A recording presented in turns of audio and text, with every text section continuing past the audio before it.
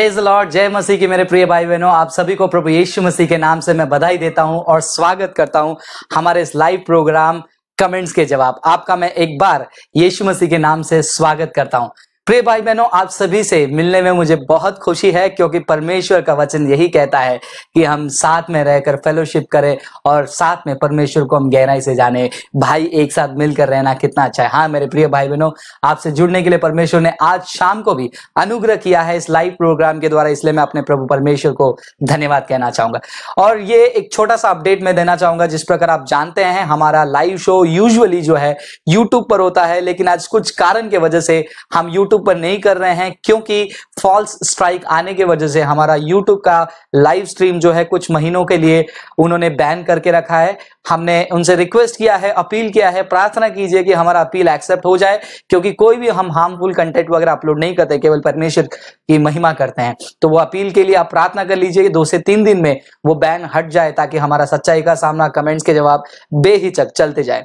इस समय में आप हमें हेल्प कर सकते हैं किस प्रकार जब भी हम कोई भी वीडियो अपलोड करते हैं यूट्यूब पर, उसे आप डाउनलोड कर लीजिए सेव कर लीजिए, या फिर आप उन वीडियो को जो है शेयर ज़्यादा कीजिए और लाइक कीजिए, क्योंकि जितना आप उनको लाइक करते हैं, उतना पॉजिटिव रेटिंग मिलती है तो हमारा वीडियो सेफ़ रहेगा और चैनल सेफ़ रहेगा। तो चलिए, मेरे प्रिय भाई बहनों इस प्रोग्राम को एक छोटे से प्रार्थना के द्वारा हम शुरू करते हैं और मैं आ, हमारी टीम से रिक्वेस्ट करूँगा कि जल्दी से हमें फीडबैक दे कि वहाँ पर वॉइस क्वालिटी और ऐसा कोई इश्यू नहीं है। तो चलिए एक छोटा सा प्रार्थना करते हैं और इस प्रोग्राम को हम चालू करते हैं।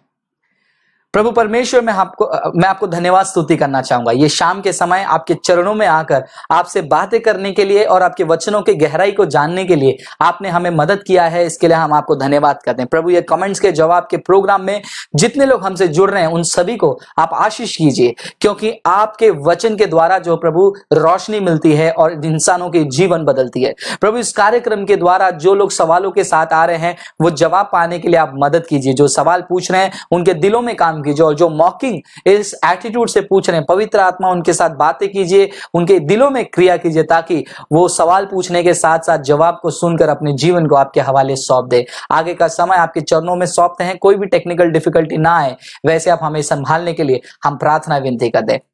सारा आदर, गौरव, महिमा आप ही को देते हैं। यीशु के नाम से मांगते हैं पिता, आमेन। तो मेरे प्रिय भाई बहनों चलिए इस प्रोग्राम को हम कंटिन्यू करते हैं विदाउट डिले और इस प्रोग्राम का फॉर्मेट आप अच्छे से जानते हैं। कि यहाँ पर आप कमेंट्स में लाइव चैट में आप सवाल पूछ सकते हैं और आपके सवालों को शॉर्ट रखिए, वचनों को कोट कर रहे हैं तो शॉर्ट में रखिए ताकि वो कमेंट को मैं रीड कर सकता हूँ और पहचान सकता हूँ कि आप जान सकता हूँ कि आपका सवाल क्या है और मुझे भी जवाब देने में आसानी होगी। तो चलिए इसको हम शुरू करते हैं। आप अपने तो मेरे प्रिय भाई तो आप अपने सवालों को जो है लाइव कमेंट में जो है आप पूछ सकते हैं और मैं कोशिश करूँगा बाइबल के वचनों के आधार पर उन सवालों का मैं जवाब दूँ। तो सबसे पहले, ये कार्यक्रम में कुछ सवालों को लेने से पहले, मैं कुछ वचन को जो है मैं बाइबल से पढ़ना चाहूँगा, क्योंकि ये वचन बहुत ज़रूरी है। आज मैं सबको बताना चाहूँगा कि कलिसिया बहुत ही बुरे परिस्थिति में है। हाँ मेरे प्रिय भाई कलिसिया बहुत ही बुरे परिस्थिति में है, क्योंकि कलिसिया मुख्य जो बात है, उस बात पर फोकस नहीं कर रही है। और इस बात को मैं बार बार दोहराऊँगा और हमेशा दोहराते रहूँगा। कुछ लोग कहेंगे कि भाई, बस करो, हम बोर हो गए हैं। लेकिन मैं लगातार इस बात को दोहराते आऊँगा क्योंकि पिछले 2000 साल से यही बात को दोहराने की ज़रूरत है कि कलिसिया जाग जा, कलिसिया सतर्क रहे, कलिसिया सावधान रहे। क्योंकि शैतान अच्छे से जानता है कि मैं कलिसिया के विरुद्ध खड़े रहकर जितना डैमेज जितना तकलीफें ला सकता हूँ उससे भी अधिक। मैं कलीसिया में जुड़कर, विश्वासियों के बीच में रहकर, मैं वहाँ पर बड़ा प्रॉब्लम क्रिएट कर सकता हूँ। हाँ मेरे प्रिय भाई बहनों ये संसार में सबसे बड़ा धोखा देने का एक अच्छा अनुभव या फिर अनुभव नहीं कहूँगा, एक अच्छा तरीका यह होता है किसी किसी व्यक्ति के साथ आप ज़्यादा समय बिताएँ, उनको भरोसा दिलाएँ और अचानक से एक दिन जो है आप उनका भरोसा तोड़ दें और उस समय में यदि आप उस धोखे में फंस गए हो, आप, या तो आपको मेंटली और स्पिरिचुअली और शारीरिक रूप में जो है कमज़ोर बना देती है और ये पंथ आज कलिसियों में यही कर रही है। हाँ मेरे प्रिय भाई बहनों आज पंत जो है कलिसियाओं में बढ़ती जा रही है। माता यरूशलेम विटनेसेस चमकती पूर्वी बिजली। हाँ ये एक बड़ा पंथ जो है, बहुत तेज़ी से फैल रहा है। इसके ऊपर एक छोटा सा वीडियो हम अपलोड करेंगे ट्यूसडे या वेडनेसडे को। आप उस वीडियो को देखिए, आप शॉक हो जाएँगे कि ये पंथ वाकई में क्या करती है और चाइना ने इस पंथ को जो है बैन करके रखा है। बहुत ही हानिकारक पंथ है। आज शाम को भी हमारे कलिसिया के एक मेंबर के घर पे एक ग्रुप आए थे। तो उन्होंने मुझे फ़ोन किया तो मैं वहाँ पर जैसे तुरंत पहुँचा, वहाँ पर मैंने एक व्यक्ति को देखा जो इंग्लिश ही बोल रहा था, हिंदी नहीं बोल रहा था टिपिकल कोरियन लग रहा था तो मैंने उनसे इंग्लिश में बात करना शुरू किया तो उन्होंने बताया कि मैं शिलोंग का हूँ और वो माता यरूशलेम को मानते हैं। मैं उनके साथ लगभग आधा घंटा बैठकर बात किया, वो वचनों को हैंडल नहीं कर पा रहे थे और वहाँ से वो चले गए हैं। लेकिन वहाँ पर ध्यान देने वाली बात मेरे लिए ये थी कि जो दो महिलाएँ उनके साथ आई थी वो इतने उस बात पर भरोसा रख रख रख चुके हैं कि सामने वाला चाहे कितना भी वचन उनको समझाए वो उस बात के ऊपर गौर नहीं कर रहे थे। वो स्त्री ने तो इतना कहा कि तुम बाइबल के वचन को बहुत खींच रहे हो बाइबल के वचन को इतना तुम आ, स्ट्रेच कर रहे हो तुम्हें, तुम्हारी योग्यता नहीं है। ऐसे उस बहन ने कहा, मैंने कहा, ठीक है, अगर योग्यता नहीं है तो बैठिए, हम वचन सीखेंगे, बात करेंगे। लेकिन वो वहाँ से गुस्से के साथ भड़कते हुए, चिल्लाते हुए वहाँ से वो निकल गई। तो क्या हम ऐसे पंथ को हम हैंडल नहीं करें? जी हैंडल करना है। उनको घर पे बुलाइए, बात कीजिए, उनको घर से भगाइए मत। ऐसे सजेशन से दूर रहिए कि उनके आने पर दरवाज़ा पटक दीजिए। उनको घर पे आने दीजिए, क्योंकि उन्हें भी यीशु मसीह की ज़रूरत है। पहला युहन्ना, तीसरा अध्याय, सातवां वचन मैं आपको पढ़कर सुनाना चाहूँगा। यह वचन कहता है, हे बालकों, किसी के भरमाने में न आना। कई बार न्यू टेस्टमेंट हमको ये चेतावनी को बार बार बार बार देती है कि तुम सावधान रहो। कोलुसियो की किताब, दूसरा अध्याय, आठवां वचन। ये सारे वार्निंग्स को कलिसिया कितना सीरियस ले रही है, ये मैं नहीं जानता मेरे प्रिय भाई बहनों क्यों मैं ऐसा कह रहा हूँ? क्योंकि यदि ये सारी चीज़ों को कलिसिया सीरियसली ली होती तो आज उस पंथ में बहुत सारे लोग फंसे नहीं होते सात लाख, आठ लाख, नौ लाख, ये कहाँ से आए? ये हिंदू मुसलमान कन्वर्ट नहीं हुए क्रिश्चियनिटी में। ये वही है जो एक बार सत्य में थे, लेकिन ऐसे भरमाने वाली बात में आकर उन्होंने अपनी ज़िंदगी को जो है बर्बाद करना शुरू कर दिया है। और ये पंथ जो है बहुत ही हानिकारक है। इन पंथों से आपको सावधान रहना है। कुछ लोग कहेंगे कि भाई आप पंथ पंथ कहते हो, वीडियो अपलोड नहीं करते हो। हम कुछ कारणवश इस वीडियो को अपलोड नहीं कर रहे हैं। हम करेंगे आने वाले दिनों में। लेकिन हम मीन चाहते हैं कि कलिसिया जागे, कलिसिया ऑर्गेनाइज करे मीटिंग्स कलिसिया शिक्षाओं में ध्यान दे। कलिसिया जाग जाओ। मेरा हाथ जोड़ के आपसे विनती है, कृपा करके जाग जाओ। जो कलिसिया मुंबई में है, वो विशेष कर कर जागे। क्योंकि मुंबई में ये तेज़ी से फैल रही है। नेपाल में ये ज़्यादा फैल रही है माता यरूशलेम की कल्ट। मुंबई में आने वाले 24 तारीख को हम एक मीटिंग ऑर्गेनाइज कर रहे हैं माता यरूशलेम के सवालों का जवाब देने के लिए। उसका डिटेल्स फेसबुक में हम जल्द अपलोड करेंगे। आप फॉलो करते रहिए। तो मेरे प्रिय भाई बहन वचन सफ़ाई से कहता है, हे बालको, तुम सावधान रहो और हर किसी के भरमाने वाले बात में ना आओ। अभिषेक मसीह पूछते हैं, क्या लेडीज़ चर्च में उपदेश दे सकती है? अभिषेक का सवाल है, क्या लेडीज़ चर्च में उपदेश दे सकती है? इसके ऊपर मैंने काफ़ी बार रिस्पांस दिया है हमारे लाइव शो सच्चाई का सामने में भी और कमेंट्स के जवाब इस प्रोग्राम में भी। जब भी बात आती है, क्या महिलाएँ सेवा कर सकती है? तो जवाब यह है हाँ वो सेवा कर सकती है। अब सवाल यह आता है, क्या महिलाएँ कलीसिया में उपदेश कर सकती हैं? तो हमें बाइबल को समझना बहुत ज़रूरी है कि कलिसिया में परमेश्वर ने एक नियम रखा है। और हमारा परमेश्वर ऐसे ही साधारण रूप में काम करने वाला परमेश्वर नहीं है। हमारा परमेश्वर हर एक कार्य नियम अनुसार एक फॉर्मेट के रूप में करते हैं। सृष्टि को भी जो है उन्होंने एक फॉर्मेट में बनाया। पहले आदम को बनाया, फिर हवा को बनाया। परिवार के बारे में भी बात करते हैं पत, बच्चे हैं पत्नी है पति है मसीह है। कलिसिया के बारे में भी देखते हैं वैसे ही हम देख सकते हैं कि मसीह जो है कलिसिया के हेड है। लेकिन कलिसिया में अथॉरिटेटिवली प्रचार करने का जो अधिकार है बाइबल महिलाओं को नहीं देती है। कुछ लोग इस बात को सुनकर हैरान हो जाते हैं और कहते हैं ऐसे कैसे हो सकता है कि बाइबल पुरुषों के लिए है। बाइबल पुरुषों के लिए नहीं है। आपको समझना है कि बाइबल रोल्स एंड रिस्पॉन्सिबिलिटी जिम्मेदारियों को जो है देती है। बाइबल में ये जो कलिसिया में अथॉरिटी के साथ प्रचार करने का अधिकार जो है रिस्पॉन्सिबिलिटी ज़िम्मेदारी पुरुषों को दी गई है, स्त्रियों को नहीं। तो इसका मतलब ये नहीं कि स्त्रियाँ सेवा नहीं कर सकती हैं। स्त्रियाँ सेवा कर सकती हैं। कहाँ सेवा कर सकती हैं? वो संडे क्लास चला सकती हैं। बच्चों के बीच में, महिलाओं के बीच में वो प्रचार कर सकती हैं। लेकिन पुरुषों के मंडली में और एक कलिसिया में वो उपदेश नहीं करना चाहिए करके बाइबल कहती है। और कुछ लोग इस बात को दिल पे ले लेते हैं। आप दिल पे लीजिए या फिर उसके ऊपर आप गुस्सा कीजिए, लेकिन सत्य वचन यही कहता है। यहाँ पर आपको यह देखना है कि मेरा उद्देश्य सेवा है या मेरा उद्देश्य स्टेज पे खड़े रहना है। अगर उद्देश्य सेवा है, झाड़ू मार लीजिए, पोछा लगा लीजिए। ये सिर्फ़ महिलाओं को नहीं कह रहा हूँ, पुरुषों को भी कह रहा हूँ। स्टेज पर आकर सामने खड़े रहकर प्रचार करना, उपदेश करना ही सेवा नहीं है। सेवा यह है कि आप कहीं पर भी हो, अपने तौर पर परमेश्वर के लिए कार्य करें। तो क्या महिलाएँ उपदेश कर सकती है? कर सकती हैं महिलाओं के मंडली में, बच्चों की शिक्षा में, लेकिन एक कांग्रेगेशन में साधारण कलीसिया में जब पुरुषों की उपस्थिति होती है अथॉरिटेटिवली उनको प्रचार करने का अधिकार बाइबल नहीं देता है।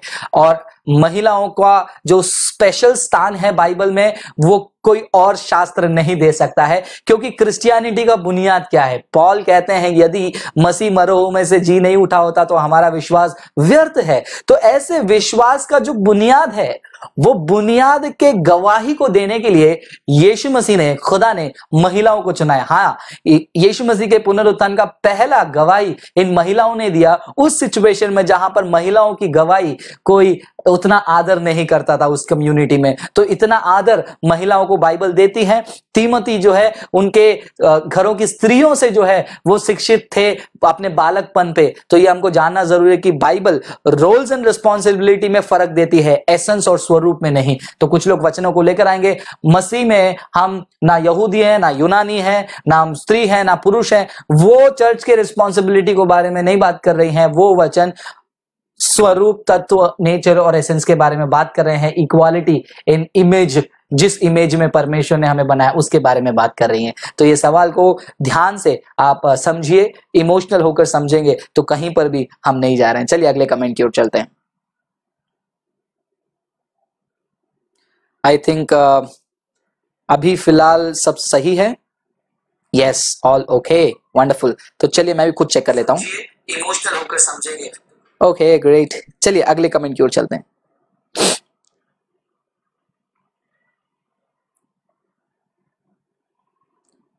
अतुल जुम्बारे पूछते हैं बाइबल हिस्ट्री के बारे में बताइए। बाइबल हिस्ट्री के बारे में बहुत सारी किताबें हैं। आप किस पर्टिकुलर हिस्ट्री के बारे में बात करें? अगर आप क्रोनोलॉजी के बारे में बात कर रहे हैं या फिर चर्च हिस्ट्री के बारे में बात करें तो चर्च चर्च हिस्ट्री से रिलेटेड आप कुछ किताबें खरीद सकते हैं और वो किताबों के बारे में आप डिटेल्स जा, जानना चाहते हैं तो हमें मैसेज कीजिए। वो हम डिटेल्स आपको शेयर करेंगे। आप ऑनलाइन कीजिए ऑनलाइन ऑर्डर कीजिए उसको खरीदिए और पढ़िए। रोशन महाराणा पूछते हैं is it necessary to be baptise for part taking in holy communion kindly give some references from the Bible for your explanation Roshan पूछते हैं, क्या ये ज़रूरी है बपतिस्मा लेना होली कम्युनियन में भाग लेने के लिए? तो यहाँ पर बहुत सारे लोगों का कंफ्यूजन यहाँ पर यह आता है, ये जो चेले हैं, उनको तो पिता, पुत्र, पवित्र आत्मा के नाम से बपतिस्मा नहीं दिया, वो लोग होली कम्युनियन लेते हैं, वो रोटी तोड़ने के उसमें भाग ले रहे हैं। आपको कुछ चीज़ें जो है कॉन्टेक्स्ट में समझना बहुत ज़रूरी है। यीशु मसीह के दिनों में चेलों को बपतिस्मा देना और रोटी तोड़ना और पवित्र आत्मा का उंडेला जाना, वो डिफरेंट कॉन्टेक्स्ट है और आज यीशु मसीह के उठाए जाने के बाद पवित्र आत्मा जब हमारे बीच में है, इस समय में कॉन्टेक्स्ट अलग है। जब आप बाइबल को पढ़ते हैं तो कुछ वचनों को हम पढ़ते हैं। मैं आपको उस वचन को भी जो है निकाल के देना चाहूँगा। जैसे आपने वो वचन को पूछा तो मैं कोशिश करूँगा वचन को निकालने के लिए। आप बने रहिए हमारे साथ।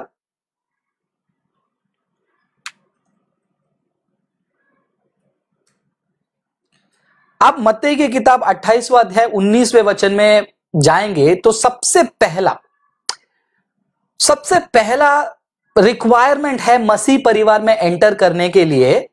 कि आप यीशु मसीह को अपना उद्धारकर्ता मानिए। यीशु मसीह को उद्धारकर्ता मानने के साथ साथ आपका उद्धार का आश्वासन तो मिल गया। बपतिस्मा लेने से आपका उद्धार होना, नहीं होना, उससे कोई फ़र्क नहीं है। लेकिन बपतिस्मा यीशु मसीह ने लेने को कहा इसीलिए आपको लेना ज़रूरी है, क्योंकि जब आप बपतिस्मा लेते हैं तो आप ये प्रोक्लेम करते हैं, ये बात को बयान करते हैं कि हाँ मैं पिता, पुत्र, पवित्र आत्मा को स्वीकार करता हूँ और उनको मैं हमारे जीवन में स्वीकार करता हूँ और आज से मैं मसीह हूँ। जब आप मसीह बनते हैं तो आप मसीह परिवार में आएँगे। जब आप मसीह परिवार में आते हैं तो उस मसीह परिवार में होने वाले क्रियाओं में जो है, आप भाग ले सकते हैं, जिसमें रोटी तोड़ना है, जिसमें वचनों को समझना मेल मिलाप करना ये सारे चीज़ें जो हैं आपको वहाँ पर देखने को मिलेंगी। सो so, बाइबल का रेफरेंसेस अगर आप चाहते हैं तो मत्ते की किताब 28वां अध्याय 19वां वचन दूँगा जो सबसे पहला क्राइटेरिया है मसीह परिवार में अपने आप को आइडेंटिफाई करने का। और मसीह परिवार में आइडेंटिफाई करने के बाद आप देखेंगे प्रेरितों की किताब दूसरा अध्याय छियालीसवें वचन में आप अगर वो वचन को पढ़ेंगे तो मैं आपके लिए वो निकाल कर पढ़ना चाहता हूँ। आप बने रहिए हमारे साथ। प्रेरितों के काम, दूसरा अध्याय 46 से 46 से हम पढ़ेंगे। दूसरा अध्याय, हम पढ़ेंगे 47 वन सेकेंड प्रेरितों के काम, दूसरा अध्याय 46 हाँ सॉरी 46 और वे प्रतिदिन एक मन होकर मंदिर में इकट्ठे होते थे और घर घर रोटी तोड़ते हुए आनंद और मन की सीधाई से भोजन किया करते थे और परमेश्वर की स्तुति करते थे और ओके सॉरी वन सेकेंड मैं आपको जो वचन आ, मैं देना चाह रहा हूँ वो वचन अलग है आप बने रहिए। उसी उसी प्रेरितों के काम में मिलेगा आपको उसी अध्याय में मैं वचन ऊपर नीचे पढ़ लिया एक सेकेंड आप पढ़ सकते हैं चालीसवें अध्याय वचन से आप पढ़िए दूसरा अध्याय के चालीसवें वचन से। उसने बहुत सारे बातों में भी गवाही दे देकर समझाया कि अपने आप को इस टेढ़ी जाति से बचाओ। सो so, जिन्होंने उसका वचन ग्रहण किया उन्होंने बपतिस्मा लिया और उसी दिन तीन हज़ार मनुष्य के लगभग उनमें मिल गए। अब यहाँ पर आपको सीक्वेंस ध्यान ध्यान में देना बहुत ज़रूरी है। चालीसवें वचन में वहाँ पर उनको वार्निंग कहा जा रहा वार्निंग दिया जा रहा है कि भाई तुम इस टेढ़ी जाति से अपने आप को बचाओ। और उसके बाद क्या कहा जा रहा है कि जो जो जो जो लोगों ने उनके वचन को ग्रहण किया तो मतलब पहला यह समझना है कि हम टेढ़ी जाति में हैं। दूसरा स्टेप वचन को ग्रहण करना है मतलब यीशु मसीह को उद्धार करता मानना है कि मैं पापी हूँ, मुझे उद्धार करता की ज़रूरत है। तीसरा, उन्होंने बपतिस्मा लिया, और उसके बाद अगला वचन पढ़िए 42 में, और वे प्रेरितों की शिक्षा पाने में यह चौथा पॉइंट है। फिर संगति रखने में, फिर रोटी तोड़ने में और प्रार्थना करने में लवलीन रहें।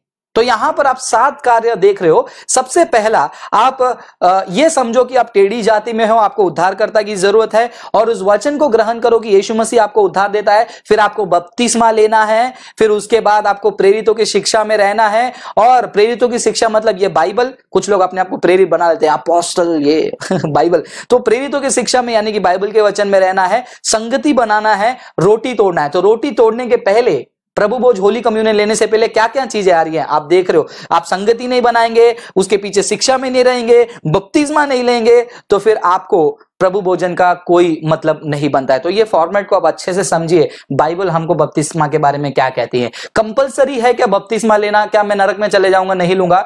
बाइबल बपतिस्मा को क्राइटेरिया नहीं रखती है स्वर्ग और नरक के लिए। लेकिन यीशु मसीह ने बोला तो उसका आदर करके हमें फॉलो करना बहुत ज़रूरी है।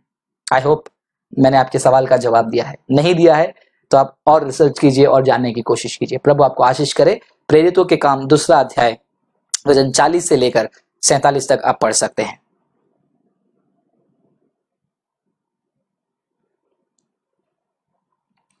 सुरेंद्र कुमार कहते हैं, क्या आजकल जो क्रिश्चियन अन्य धर्मों को एक्सपोज करते हैं, क्या जीसस ने ऐसे कहा था कि एक्सपोज करियो? करियो? टिपिकल दिल्ली। हाँ जी, हम आपको बताएँगे। आप जरा सुन लीजिए सुन लियो। सुरेंद्र कुमार मेरे भाई, आपको शायद से बाइबल का उतना ज्ञान नहीं है तो मैं आपको रेकमेंड करूँगा कि आप बाइबल के कुछ वचनों को पढ़ लीजिए। जैसे कि आप दूसरा कुरिंतियों की किताब दसवां अध्याय, पांचवा वचन अगर आप पढ़ते हैं तो मैं आपके लिए पढ़ के सुनाना चाहूँगा। आप वचन को सुन लीजिए। दूसरा कुरिंतियों दसवा अध्याय, दूसरा कुरुंतियों दसवा अध्याय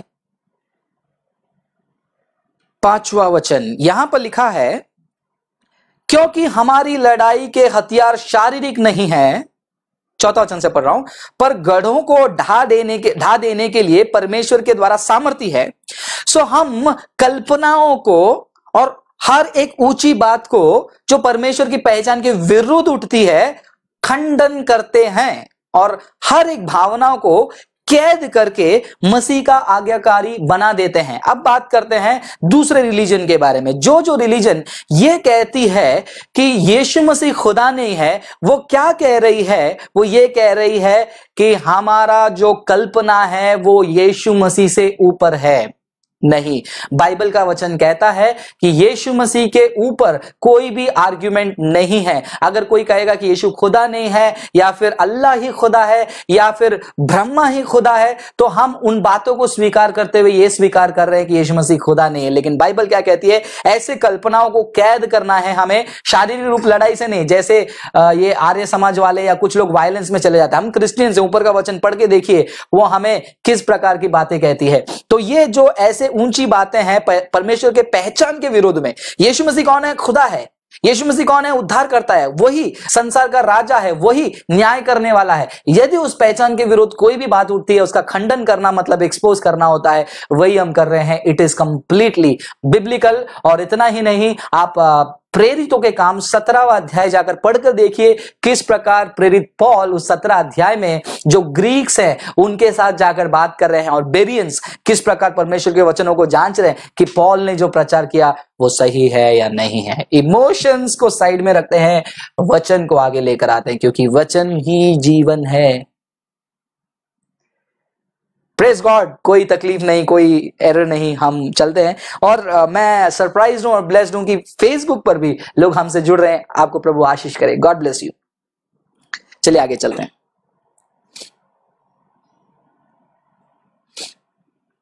Yes Abhishek Masih thank you very much समझने के लिए कुछ लोग इमोशनल हो जाते हैं। आप समझ गए कि महिलाओं के बारे में जब हम बात करते हैं तो उपदेश कर सकते हैं या सेवा कर सकते हैं। ये दो अलग बात हो गई। अगर सेवा की बात हो रही है, खुलकर सेवा करो, सुसमाचार। हमारे साथ देखिए, जब हम लोग सड़क पर ट्रैक्स बांटने जाते हैं, कितने महिलाएँ हमारे साथ आती हैं। और महिलाओं के बारे में मैंने आपको बाइबल में उदाहरण भी दिया था। चलिए आगे चलते हैं। प्रतिकृष्टि पूछते हैं, प्रायश्चित फादर से किया जा सकता है? वो पूछ रहे हैं, ये रोमन कैथोलिक का एक ट्रेडिशन है कि क्या हम फादर से, यानी कि जो रोमन कैथोलिक है, उनका ये होता है कि आप उनके चर्च में जाओगे तो एक फादर बैठे रहेंगे एक दरवाजे के पीछे, आपने जो पाप किया है वो पाप को उस फादर को बताएँगे और वो फादर आपके लिए प्रार्थना करेंगे और आपको वो कुछ बातें भी बताएँगे। बाइबल इस बारे में क्या कहती है? बाइबल देखिए क्या कहती है। पहला तीमती, दूसरा अध्याय, पांचवा वचन। हम चलते हैं। आज मैं थोड़ा समय लेकर वचनों को पढ़ूँगा, खाली रेफरेंस देकर मैं हटूँगा नहीं। पहला तीमती, दूसरा अध्याय। पहला तीमती, दूसरा अध्याय, पांचवा वचन। चलिए वचन को पढ़ते हैं। क्योंकि परमेश्वर एक ही है और परमेश्वर और मनुष्य के बीच में एक ही बिचवई है मीडिएटर अर्थात मसीह यीशु, जो मनुष्य है। मतलब यहाँ पर यह वचन में क्या देखने मिल रहा है हमको? परमेश्वर एक है। परमेश्वर के और मनुष्य के बीच में मतलब यहाँ पर परमेश्वर है, यहाँ पर मनुष्य है, उसके बीच में एक ही बिचवई है। बिचवई मतलब मीडिएटर जो मेरे लिए उनसे बात करेगा और उनके द्वारा मेरे से बात करेगा। वचन क्या कहता है? अर्थात मसीह यीशु मसीह अर्थात मसीह यीशु जो मनुष्य है। तो बाइबल हमको कहती है कि हमारा एक ही मीडिएटर है, परमेश्वर के बीच में वो है यीशु मसीह। इसीलिए युहन्ना के किताब में बार बार यीशु मसीह कहते हैं कि जो कुछ तुम मेरे नाम से मांगोगे, तुम उसे पाओगे, तुम मेरे नाम से प्रार्थना करो। यीशु मसीह बार बार कहते हैं कि तुम मेरे नाम से प्रार्थना करो, जो भी मांगना है मुझसे डायरेक्टली मांगो। लेकिन रोमन कैथोलिसिज्म में क्या कर देते हैं? परमेश्वर, फिर बाद में मरियम या फिर कोई सेंट फिर बाद में वो चर्च के फादर फिर बाद में जो विश्वासी को प्रार्थना करवाना है। तो विश्वासी प्रार्थना करता है, वो प्रार्थना वो फादर सुनते हैं या फिर वो अंगीकार को वो फादर सुनते हैं और वो कहते हैं कि, हे मरियम, या फिर कोई सेंट का नाम लेकर उनसे प्रार्थना करते हैं और उनका मानना है, वो सेंट यीशु मसीह को बताएँगे। यीशु मसीह बोलते हैं कि मुझे इतने लोग बीच में नहीं चाहिए। परमेश्वर और मनुष्य के बीच में। एक ही मीडिएटर है। ये वचन है। इसीलिए रोमन कैथोलिसिज्म जो है शिक्षा के मामले में बाइबल के खिलाफ है बहुत सारे टीचिंग्स में। तो आपको सावधान रहना है कि आप क्या बातों को मान रहे हो, किन बातों को फॉलो कर रहे हो। दिनेश माइकर पूछते हैं, उत्पत्ति से लेकर अब तक कितना साल हुआ? दिनेश माइकर इसके दो व्यू हैं, यंग अर्थ क्रिएशन ग्रुप एक अलग है और ओल्ड अर्थ क्रिएशन ग्रुप अलग है। दोनों अपने अपने पॉइंट से डिवाइडेड हैं। कुछ लोग मिलियनर्स को, मिलियन ईयर्स को मानते हैं, अरबों साल हो गए लाखों साल हो गए और यंग अर्थ क्रिएशनिस्ट मानते हैं कि 6000 साल के आसपास हुए। दोनों के लिए सॉलिड एविडेंस है। लेकिन मैं आपको कहूँगा कि ये बातें दुनिया कितनी पुरानी है, वो आपके उद्धार के ऊपर कोई फ़र्क नहीं डालता। आपके स्वर्ग और नर्क जाने का कोई प्रभाव नहीं पड़ता। मोक्ष प्राप्त करना और नर्क प्राप्त करने के ऊपर कोई असर नहीं पड़ता है। असर पड़ता क्या है कि आपके ज़िंदगी का जो मुख्य सवाल है, मैं कहाँ से आया? मैं क्यों आया? मुझे ऐसा क्यों जीना है? मैं कहाँ जा रहा हूँ? ओरिजिन मीनिंग मोरालिटी डेस्टिनी शुरुआत ज़िंदगी का मकसद नैतिकता और सम, आ, समाप्ति ये क्या है? ये सिर्फ़ क्रिश्चियनिटी में आपको जवाब मिलेगा तो उसके ऊपर फोकस कीजिए। दो अलग अलग डिवाइडेड टॉपिक हैं इसके ऊपर आप कैन हैम को पढ़ सकते हैं या फिर दूसरे स्कॉलर्स को पढ़ सकते हैं तो आपको थोड़ा बहुत आइडिया मिलेगा।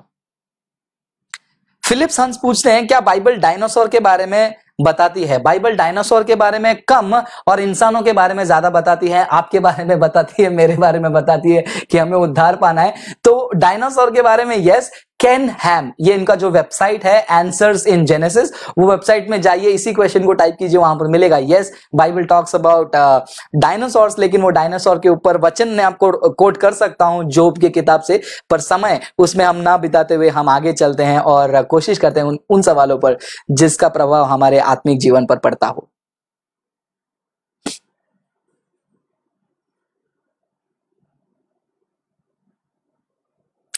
अशु शर्मा पूछते हैं, भाई, यहोवा ने कहा my name is I am and Jesus also said that he is I am please explain बहुत बढ़िया पॉइंट है, क्योंकि एक यहूदी को पता है कि जब भी साम, इंग्लिश में आई एम लिखा है, जब यहूदी कल्चर में यदि कोई कहता है आई एम वो सीधा सीधा ये कह रहे कि मैं वही यहोवा हूँ, ओल्ड टेस्टमेंट का। तब जाकर यहूदियों ने अच्छे से समझ लिया और वो पत्थर उठाकर कई बार यीशु मसीह को मारने के लिए चले गए, क्योंकि यीशु मसीह मनुष्य होकर तुम किस प्रकार अपने आप को यहोवा की तुलना में रख सकते हो? कहकर यहूदी लोग उनको अक्यूज कर रहे थे। तो यीशु मसीह आई एम कहकर यह साबित कर रहे हैं कि वो मैं ही खुदा हूँ, जिसको तुम पुराने नियम में शास्त्रों के द्वारा ढूंढते थे, पढ़ते थे और मैं वही खुदा हूँ जो मैं मनुष्य के रूप में आया हूँ। लेकिन ये यहूदियों का दिमाग इतना कैद हो चुका था उनके ही सोच में कि वो इस बात को भरोसा नहीं कर रहे थे कि यहोवा शारीरिक रूप में जन्म लिया है। वही चीज़ हम योहना के किताब पहला अध्याय, पहला वचन में देखते हैं। आदि में वचन था, वचन याहवे के पास था, वचन याहवे था। और वो याहवे चौदहवें वचन में हमारे बीच में शारीरिक रूप में आकर तंबू बनाकर वास किया। पुराने नियम की पूर्ति हमें देखने मिलती है। तो ये यीशु मसीह कह रहे हैं कि खुदा मैं हूँ।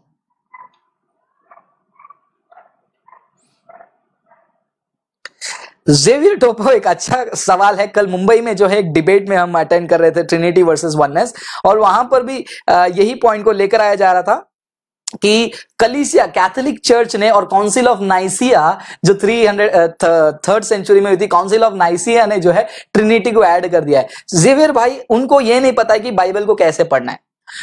कुछ लोग कहते हैं कि बाइबल में ये ट्रिनिटी शब्द है ही नहीं, और ये शब्द इस्तेमाल करेंगे benevolent God omni benevolent monotheism incarnation ये वर्ड्स आपको बाइबल में नहीं मिलेंगे। तो जो शब्द बाइबल में नहीं मिलती है, इसका मतलब ये नहीं है कि वो शिक्षा बाइबल में नहीं मिलती है। जब हम बाइबल के सारे वचनों को एक साथ लेकर आते हैं बाइबल स्टडी ऐसी होती है। उत्पत्ति से लेकर प्रकाशित वाक्य के वचनों को जब साथ में हम लेकर आते हैं, उसका रिज़ल्ट और उसका जो निष्कर्ष निकलता है, उसके ऊपर डॉक्ट्रिन बनती है। डॉक्ट्रिन सिर्फ़ एक वचन से नहीं बनता है, एक वचन से पंथ कल्टिक डॉक्ट्रिन बनती है। जब मैं पुराने नियम से उत्पत्ति की किताब 19वां अध्याय में या फिर उत्पत्ति की किताब पहला अध्याय, पहले वचन से भी देखूँ, मुझे मल्टीपल पर्सनालिटीज या मल्टीपल पर्सन जो है, पूरे बाइबल में दिखती है। जब नया नियम का समय आता है, उसकी परिपूर्ण समझ हमें मिलती है कि पिता है, पवित्र आत्मा है और पिता है, पुत्र है और पवित्र आत्मा है। तो ये ट्रिनिटी चर्च ने ऐड नहीं किया है, बाइबल के डिडक्शन से, यानी कि बाइबल से डिडक्टिवली आर्ग्यू करके निकाला गया है कि बाइबल जब स्टडी की जाए, वो निष्कर्षी रूप में ट्रिनिटी को साबित करती है। अदरवाइज़ योहन्ना के किताब सत्रह अध्याय को आप कहीं पर भी एक्सप्लेन नहीं कर सकते हैं। ये वचनों को एक्सप्लेन नहीं कर सकते, जहाँ पर यीशु मसीह पानी में आवाज़ ऊपर से आ रही है और पवित्र आत्मा कबूतर के रूप में उतर कर आ रहे हैं। योना का किताब पहला अध्याय, ये सारे वचन ट्रिनिटी के आधार पर ही एक्सप्लेन किया जा सकता है। उसके अलावा एक्सप्लेन आप नहीं कर सकते। तो जो ये लोग कह रहे हैं कि काउंसिल ऑफ़ नाइसिया उनको पता नहीं काउंसिल ऑफ़ नाइसिया में क्या हुआ? जाकर गूगल में फ्री में मिल जाएगा उस काउंसिल ऑफ़ नाइसिया को। पढ़ लीजिए, केवल मुसलमानों के आर्ग्यूमेंट को दोहराने से अच्छा ये बेहतर होगा। फ्री है इंटरनेट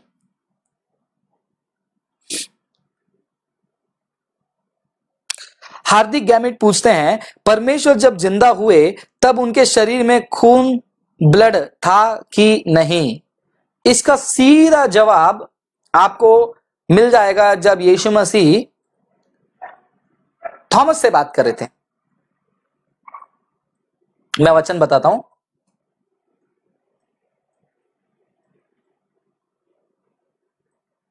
आपको यह वचन मिलेगा लूका की किताब 24 लूका की किताब 24वां अध्याय 39 वचन में। आप पढ़ के देखिए, मैं पढ़ के दिखाना चाहूँगा। आज मैं सिर्फ़ वचनों को कोट ही नहीं करना चाहूँगा, पढ़ना भी चाहूँगा।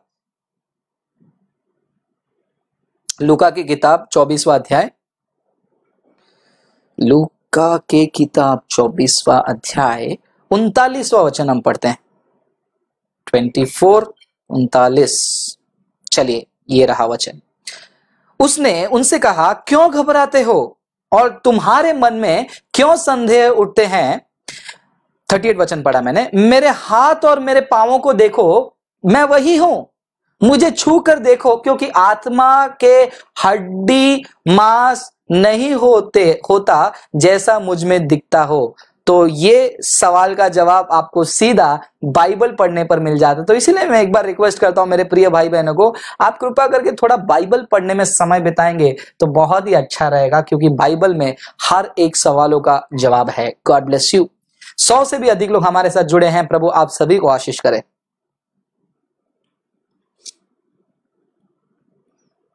अतुल जोमारे पूछ रहे हैं, पुणे में जो सब्जेक्ट लेने वाले हो, उस पर थोड़ा बताएँ। वो हमने पोस्टर में लिखा है कि हम देखने वाले कि बाइबल हमको कैसे मिला है बाइबल में क्यों 66 किताबें हैं रोमन कैथलिक बाइबल में क्यों ज़्यादा किताबें हैं किस, किसने डिसाइड किया कि बाइबल में इतना ही किताब रहेंगे, किस आधार पर लोगों ने निर्णय में पहुँचे? तो ये सारे टॉपिक पर जो है, हम स्टडी करेंगे और कैसे माने बाइबल ही परमेश्वर का वचन है। तो इसके ऊपर जो है हम डिस्कस करने वाले हैं। चलिए आगे चलते हैं।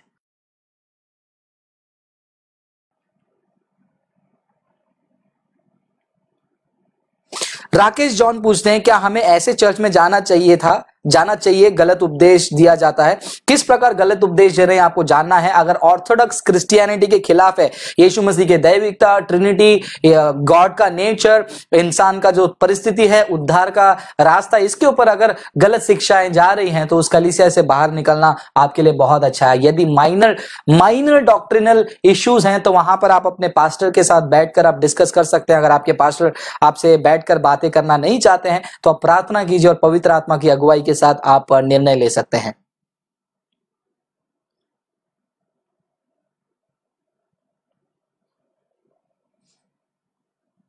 चलिए, आगे और कुछ और कमेंट्स है, मैं देखता हूँ।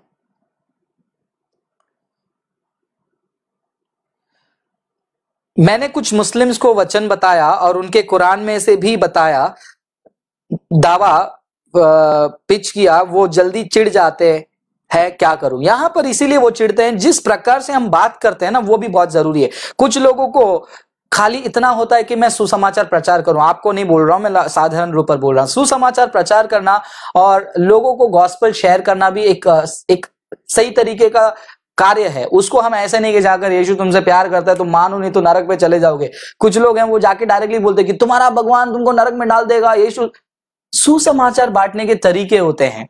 किस प्रकार यीशु मसीह ने सुसमाचार बांटा? जाइए बाइबल पढ़िए। जब एक स्त्री कुएँ में स्त्री कुएँ में हाँ स्त्री कुएँ में जो है पानी निकाल रही थी, वो स्त्री से यीशु मसीह ने कैसे बात किया? निकोदेमस से यीशु मसीह ने कैसे बात किया? पॉल ने कैसे बात किया? पत्रस ने कैसे बात किया? ये सारी चीज़ों को आपको देखना है, उनको जाकर अटैक करने के रूप में अगर हम बात करेंगे तो बिल्कुल वो चिड़ेंगे हमको उनको सवाल पूछना है कि, भाईजान, ये वचन का अर्थ क्या है? ये आयतों का मतलब क्या है? मैं जब मुसलमानों से बात करता हूँ फेस टू फेस कुछ लोगों को लगता है कि, फ्रांसिस भाई, वीडियो में हमेशा ऐसा रहते हैं वैसा ही रहेंगे। नहीं रियल लाइफ में अगर आप देखेंगे, मैं बिल्कुल अलग तरीके से बात करता हूँ। क्योंकि रियल लाइफ में हम लोगों के इमोशन के साथ डील कर रहे हैं वो चिड़ेंगे इसलिए क्योंकि जिस प्रकार आपका अनंत काल का आ, कार्य उस बात में जुड़ा हुआ है उसी बात में उनका अनंत काल भी जुड़ा हुआ है तो कोई रिस्क लेना नहीं चाहेगा। तो बहुत ही सावधानी से और प्रेम से आपको उपदेश देना चाहिए उनको सुसमाचार का दावा देना चाहिए। मैं नेपाल से हैं, हिंदी नहीं आता है कहते हैं कोई ब्रदर लील बहादुर वो कहते हैं। मैंने सुना है अन्य भाषा शैतान से आता है और अन्य भाषा सीखने के बाद बोल सकता है। क्या अन्य भाषा बोलने के लिए सीखना चाहिए? अन्य भाषा को सीखना नहीं चाहिए। अगर कोई सीख कर अन्य भाषा बोल रहा है, कोई कह रहा है तो उसको रिपीट कर रहा है देन वो गलत है। आत्मिक रूप में पवित्र आत्मा वो वरदान देंगे।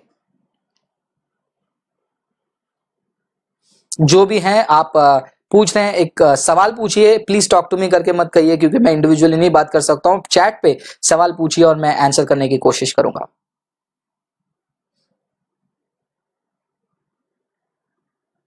प्रदीप कहते हैं फ्रांसिस भाई यूट्यूब में एक नया लड़का आया है। जो आपका झूठा कहता है, मैं चाहता हूँ उसके बारे में एक वीडियो बनाइए, जवाब दीजिए। प्रदीप मैं आपको ही नहीं, बाकी सारे लोगों को भी कहता हूँ जो हमेशा हमको शेयर करते रहते हैं, ये इनका जवाब दो, उनका जवाब दो। आपको जानना है कि हर किसी को हम जवाब देते नहीं रहेंगे।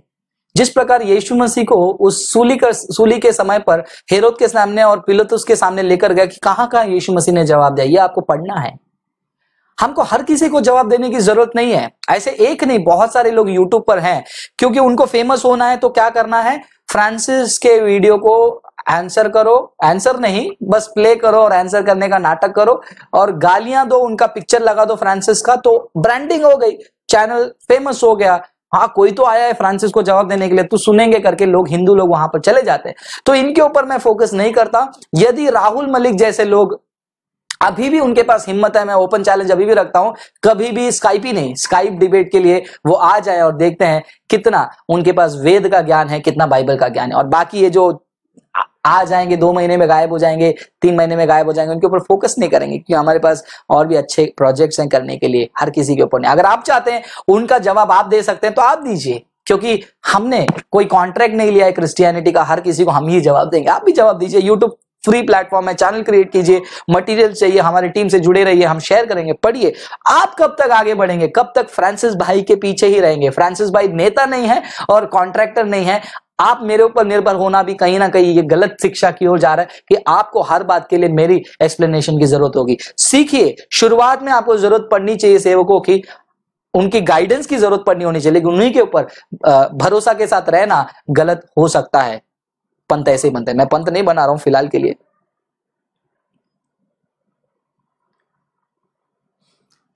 राहुल पूछते हैं, पुराने नियम में उद्धार था या नहीं? बिल्कुल पुराने नियम में उद्धार था, लेकिन उद्धार का जो फॉर्मेट है, वो अलग है। अगर आप उस उद्धार के बारे में देखोगे तो विश्वास से उनका उद्धार होता था।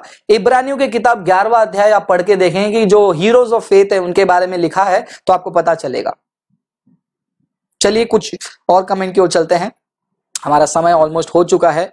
आ, बीच में दस मिनट का हमारा इंटरप्शन था तो इंटरप्शन के लिए मैं थोड़ा सा कंटिन्यू करूँगा तो दिक्कत नहीं है।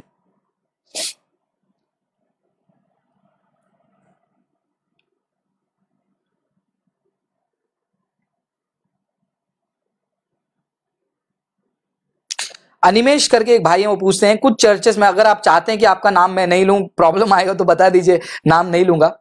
कुछ चर्चेस में ऐसी शिक्षा है यदि कोई उस चर्च को छोड़कर किसी दूसरे चर्च में जाता है तो पहले वाले चर्च के लोग उसे बात करना बंद क्यों कर देते हैं? क्योंकि वो कलिसिया में नहीं है वो संगति में नहीं है वो बिज़नेस बिज़नेस कमर्शियल सेंटर में है और बिज़नेस टीम के जैसा एटीट्यूड बना के रखे हैं बिहेवियर बना के रखे कि तुम हमारी टीम से चले गए तो, तो अब मुँह नहीं दिखाना चलो निकल जाओ। मुँह नहीं दिखाना। बाइबल हमको संगति के बारे में कहती है, यदि वहाँ पर गलती भी हो जाए तो वो कलिसिया के लोग बैठकर समझाना चाहिए, यही संगति होती है। और इसी संगति के बारे में, पॉल बार बार कहते हैं, एक दूसरों को तुम संभालो। पॉल क्या कहते हैं अपने पत्रों में? तुम एक दूसरों को संभालो। लेकिन कलिसिया एक दूसरे को संभालने को छोड़कर कलिसिया छोड़ के गया तो इसके जीवन में श्राप आ गया। मैंने खुद ऐसे कलिसियाओं के पास्टर्स को कहते हुए सुना है। बिल्कुल गलत है। इमोशन से इमोशन से कलिसिया नहीं चलती है। कलिसिया परमेश्वर के वचन वचन से चलती है। लेकिन आज दर्द यही है। कलिसिया इमोशन से चल रही है और सिर्फ़ और सिर्फ़ इमोशन ही जो है इंसान को दबा रहा है और रोक कर रख रहा है, ये हमको हर कहीं देखने मिलता है तो कुछ नई बात नहीं है।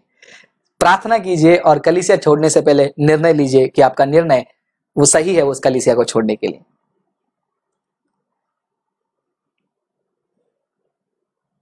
संतोष पूछ रहे हैं, मुसलमानों के बीच में सेवा करना है तो कैसे करना है? तो जैसे मैंने पहले बताया था कि आपको उनके बारे में थोड़ा बहुत जानना ज़रूरी है। उस जानकारी के लिए हमारे यूट्यूब चैनल में जाइए। ट्रूथ रिवील्ड इजार हक ये जो वीडियो है, पाँच वीडियो सीरीज़ उसको आप देखिए। उसके डिस्क्रिप्शन में हमने लिंक दिया है, वो पीडीएफ को डाउनलोड कीजिए, उनके बारे में आप पढ़ सकते हैं मुसलमानों के बारे में। और एक वीडियो है, छह मुख्य बातें मुसलमानों के बारे में, वो जानिए, आपको मदद मिलेगी उनसे बात करने के लिए। और थोड़ा सा स्टडी कीजिए, क्योंकि बाइबल को प्रस्तुत करने वाले आपको बाइबल का नॉलेज होना बहुत ज़रूरी है।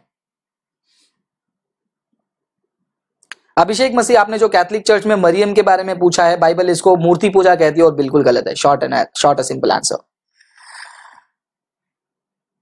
Rohit साल भी पूछते हैं, क्या जहाँ प्रॉस्पेरिटी को लेकर प्रीचिंग होती हो, वहाँ हमें ऑब्जेक्शन लेना चाहिए? बिल्कुल, क्योंकि ये लोग मसीहत का एक गलत पिक्चर लोगों को दिखा रहे हैं कि तुम मसीह के पास आओगे तो तुमको गाड़ियाँ मिलेगी। किरण एसेगिल नाम का एक व्यक्ति जिसका पे, जिसका यूट्यूब फेसबुक पेज को अब जब देखते हैं वो कह रहे हैं कि मेरे आत्मिक बच्चे मुझे क्रेटा दे रहे हैं। गाड़ी का नाम है ना हुंडा या होंडा क्रेटा है वो मुझे नहीं पता है।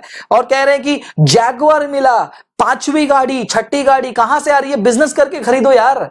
लोगों को लूटना बंद करो। जहाँ प्रॉस्पेरिटी प्रीचिंग हो रही है, आप देखते हो, उस प्रॉस्पेरिटी प्रीचिंग की कलिसिया में लोग इसी आशा में बैठे कि मैं एक दिन मैं अमीर बनूँगा। परमेश्वर मुझे आशीष करेगा। विश्वास मत छोड़ो।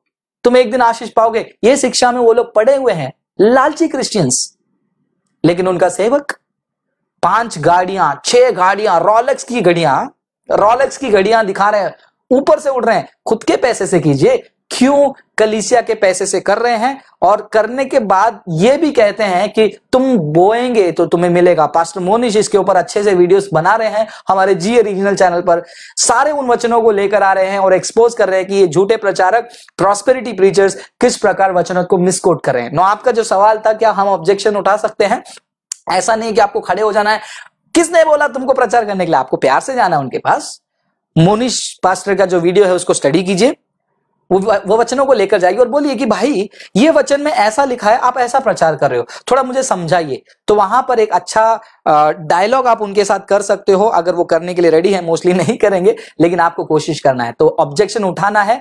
वायलेंस नहीं, चिल्लाना नहीं, मारामारी नहीं, झगड़ा नहीं, प्यार से वचन को लेकर जाइए और एक्सप्लेन करने के लिए उनको कहिए और वो एक्सप्लेन करेंगे तो अच्छी बात है, नहीं करेंगे तो आपको डिसीज़न लेना है कि उस कलिसिया में आपको कंटिन्यू करना है या नहीं करना है, क्योंकि ये कलिसियाँ ये शिक्षा देती हैं, आशीषित हो, तुम मसीह हो, गरीब हो तो तुम पापी हो। ये मैसेज लोगों के बीच में जाता है और कितने दिल, कितने घर दर्द के साथ सो रहे हैं कि हमने ऐसा क्या पाप किया कि हमको परमेश्वर आशीष नहीं कर रहा है। और सेवक इसी बात को फ़ायदा में बना लेता है, घुमाकर कर देता है कि तुम्हारे जीवन में कुछ तो ऐसा पाप है जिसकी वजह से आशीष नहीं आ रहा है।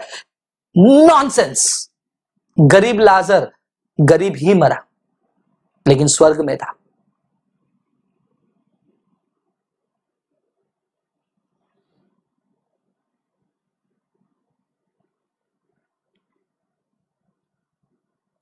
तो चलिए एक और दो कमेंट्स को हम देखते हैं और उसके बाद इस लाइव स्ट्रीम को हम एंड करते हैं।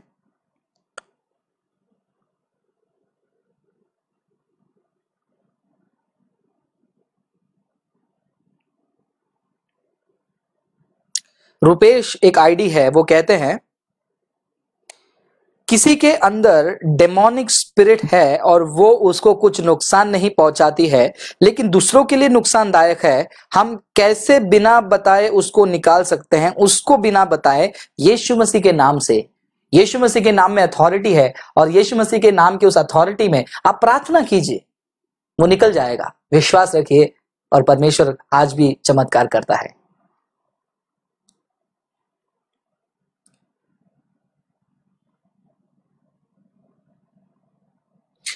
तिग्गा अलीजान पूछते हैं, ब्रदर, क्या बाइबल पृथ्वी को फ्लैट की तरह बताती है? बिल्कुल नहीं बिल्कुल नहीं। ये वही लोग हैं जो सिर्फ़ इंटरनेट के नॉनसेंस को उठा कर लेकर आते हैं।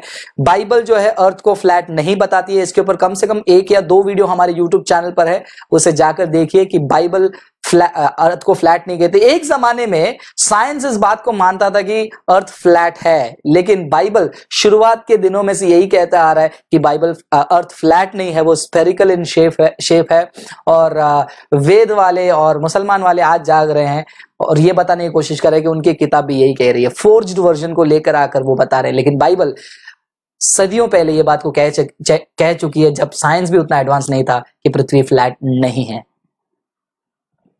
एक सेवक ने कहा, या तो उनको साइंस नहीं पता, या तो उनको क्रिश्चियनिटी नहीं पता, या तो दोनों नहीं पता। क्योंकि जिस व्यक्ति को साइंस पता है, वो ये नहीं कहेगा कि क्रिश्चियनिटी में अनसाइंटिफिक चीज़ें हैं। और जो व्यक्ति क्रिश्चियनिटी को जानता है, वो ये नहीं कहेगा कि क्रिस्टियनिटी साइंस के खिलाफ है।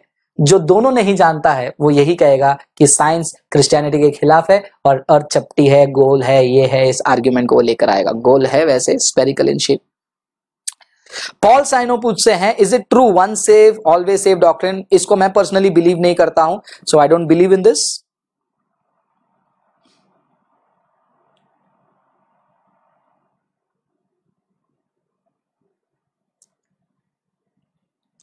Jimmy मसीह पूछते हैं इस पास्टर अ गिफ्ट और एन ऑफ़िस पास्टर जो है एक रिस्पॉन्सिबिलिटी है। It is neither a gift it is not an office अब किस कॉन्टेक्स्ट में ऑफ़िस बोल रहे हैं वो मैं समझ नहीं पा रहा हूँ। पास्टर जो है एक कॉलिंग है, एक रिस्पॉन्सिबिलिटी है कलिसिया का। ऑफ़िस किसको कहा जाता है? प्रॉफिटिक ऑफ़िस कहा जा सकता है।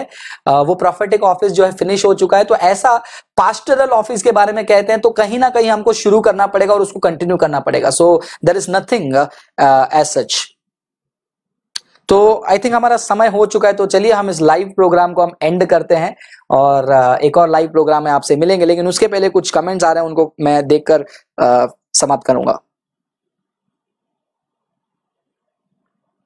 सीमन सिंह कहते हैं, मोहम्मद की भविष्यवाणी बाइबल में तो नहीं है, लेकिन मुस्लिम भाई लोग, मुस्लिम भाई लोग भाई लोग, क्यों क्यों कहते हैं, मोहम्मद के बारे में बाइबल में लिखा है? वो इसीलिए आर्ग्यूमेंट में आपको बताता हूँ क्या है। आर्ग्यूमेंट ये है कुरान अल्लाह के तरफ़ से है। मैं उस कुरान के आयत को निकाल लेता हूँ एक बार।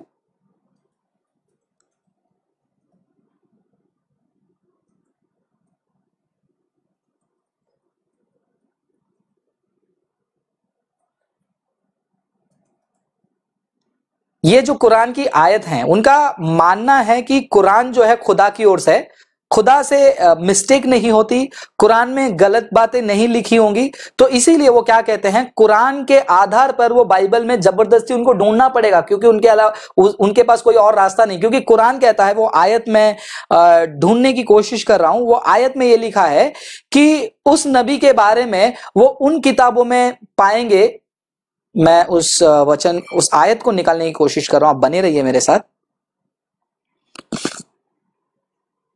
मैं उसी वेबसाइट में जा रहा हूँ जो क्रिश्चियनिटी के खिलाफ आर्टिकल्स लिखते हैं। ओके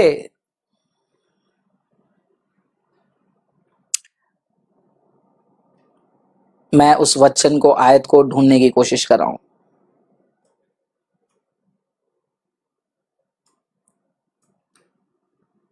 ओके अनलेटर्ड ठीक है, वो आयत मुझे मिल नहीं रही है। आई थिंक मिल गई है। सूरा सातवा अध्याय, सूरा चैप्टर सेवन सूरा चैप्टर सेवन कुरान में, सूरा चैप्टर वन सूरत राफ सूरत राफ सुरल राफ, जैसे प्रोनाउंस करेंगे इसको उसमें आयत नंबर 157 आयत नंबर 157 में देखिए क्या लिखा है? मैं यूसुफ अली का ट्रांसलेशन पढ़ रहा हूँ। कुछ लोग कहेंगे यूसुफ अली का मत पढ़ो। ठीक है मैं पिकताल का ट्रांसलेशन पढ़ रहा हूँ। Those who follow the messenger the prophet who can neither read nor write, whom they will find described in Torah and Gospel with them. तो यहाँ पर कुरान के सातवें अध्याय में आयत नंबर, यानी वचन नंबर 157 में लिखा है कि वो नबी के बारे में, वो उनके किताबों में पाएँगे। किसमें? तोरा और इंजिल में। तोरा और इंजिल में। तो यहाँ पर मुसलमानों का डायलेमा क्या है? प्रॉब्लम क्या है कि कुरान ने तो कह दिया कि मोहम्मद की भविष्यवाणी या मोहम्मद के बारे में तोरा में और इंजिल में लिखी होगी। तो कुरान तो गलत नहीं हो सकती है। तो किसी भी हालत में हमको उसको फाइंड आउट करना ही है। किसी भी हालत में उनको पहचानना है, ढूंढ के निकालना है मोहम्मद का नाम। तो इसी कोशिश के साथ यही से शुरू होती है कि बाइबल में मोहम्मद को ढूंढ के निकालना। लेकिन उस समय में भी और आज भी लोग लगातार मोहम्मद को बाइबल में ढूँढने की कोशिश कर रहे हैं, लेकिन मोहम्मद को बाइबल में किसी ने नहीं पाया है। और इसके ऊपर डिटेल वीडियो हमने बनाया है व्यवस्था विवरण अठारह अध्याय, योहन्ना की किताब यशाया की किताब, ऐसे सारे वचनों के ऊपर जो क्लेम को बेस करते हैं कि मोहम्मद की भविष्यवाणी बाइबल में वो सारे सवालों का जवाब हमने हमारे यूट्यूब चैनल पर अपलोड किया है, उसे जाकर देखिए। बाइबल कहीं पर भी मोहम्मद की भविष्यवाणी नहीं करती है। अगर बाइबल भविष्यवाणी करती है तो वह झूठे भविष्यदक्ता के बारे में करती है। अब मुसलमानों के लिए प्रॉब्लम एक है, यदि कुरान सही है तो मोहम्मद का नाम बाइबल में मिलना चाहिए। बाइबल को जब हम पढ़ते हैं, मोहम्मद का नाम नहीं मिलता है। इसका मतलब कुरान गलत है, इस्लाम गलत है। और यहाँ पर मुसलमान लोग और नायक एक कदम नहीं, दस कदम आगे चले जाते हैं। कुरान से भी स्मार्ट बनते हैं। कुरान कहता है कि तोरा और इंजिल, तोरा मतलब मूसा ने जो पहले पाँच किताबें लिखी, वो इंजिल मतलब गॉस्पल, सुसमाचार। ये दो किताबों के बारे में कहा है। लेकिन हमारे मुसलमान भाई क्या करेंगे? यशाए में जाकर ढूंढेंगे। सॉन्ग्स ऑफ़ सोलोमोन में, श्रेष्ठ गीत आई थिंक हिंदी में बोलते हैं उसको। श्रेष्ठ गीत में जाकर ढूंढेंगे नीति वचन में जाकर ढूंढेंगे। और काफ़ी सारे अध्यायों में जो है मोहम्मद की भविष्यवाणी ढूंढेंगे। कुरान से भी थोड़ा स्मार्ट ये लोग बन जाते हैं कभी कभी प्रार्थना कर सकते हैं इनके लिए।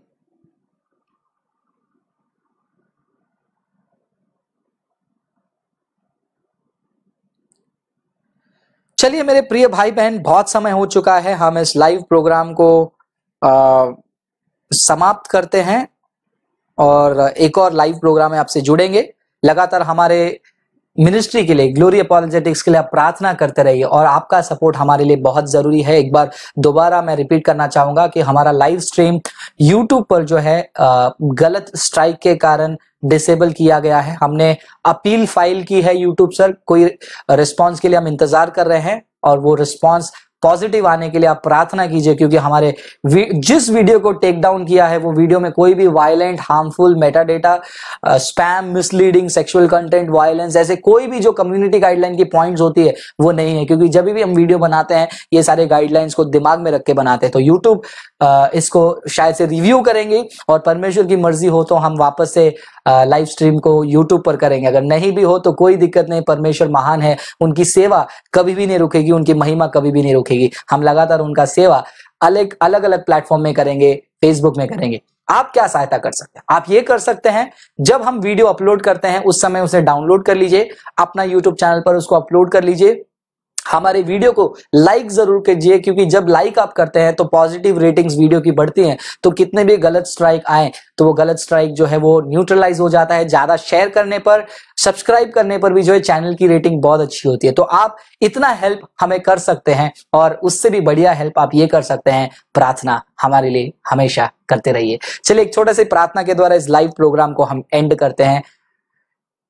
है परमेश्वर, हम आपको धन्यवाद करते हैं। ये शाम के समय आपको कोटि कोटि धन्यवाद देते हैं कि आप हमें एक साथ जोड़ें। भारत के कई इलाकों में से और भारत के बाहर के कई इलाकों से, नेपाल से और यूएई में से कुछ लोग हमारे साथ जुड़े थे। प्रभु, इन सभी को एक साथ जोड़ने के लिए मैं धन्यवाद कहता हूँ क्योंकि आपका प्रेम हमें जोड़ता है।